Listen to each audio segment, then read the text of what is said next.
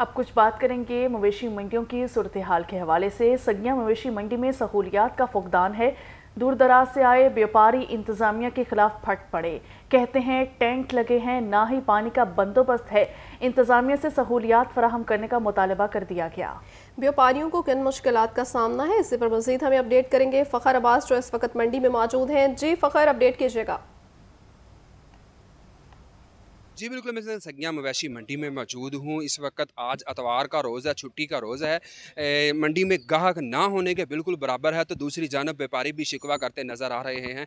व्यापारियों का कहना है कि मंडी में सहूलियात का फुकदान है पानी और दीगर सहूलियात जो हैं वो ना होने के बराबर हैं। इस वक्त हमारे साथ कुछ व्यापारी मौजूद हैं हम उनसे बात करते हैं वो इस हवाले से क्या कहते हैं। जी बताइएगा। असलम सर हम नौ बजे के आए हुए हैं।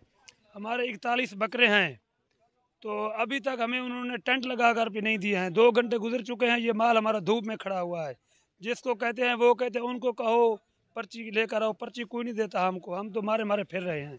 जी, बिल्कुल, आपने सुना व्यापारियों का कहना है कि हम तोसा शरीफ से यहाँ पे अपने जानवर लेके बेचने के लिए आए हैं। तो यहाँ पे सहूलियात का अदम फुकदान होने के बायस हमारे जो बकरे हैं, वो खूबसूरत बकरे जो हमने जिनको बड़े नाज, नखरों और मेहनत से मेहनत से पाला था, वो धूप में खड़े हैं, जिसकी वजह से हम सुकून में नहीं हैं। हम मुतालबा करते हैं ज़िला इंतज़ामिया से कि जल्द अज जल्द टेंट लगा के दिए जाएँ और पानी का इंतज़ाम किया जाए ताकि हम अपने बकरों को छाँव में खड़ा कर सकें और उनको पानी शानी पिला सकें और उनके लिए खाने का बंदोबस्त कर सकें। और हम हम गा के इंतज़ार में अपना, जिस वजह से हमारे बकरे कमज़ोर हो जाएँगे तो हमें रेट भी अच्छा नहीं मिलेगा।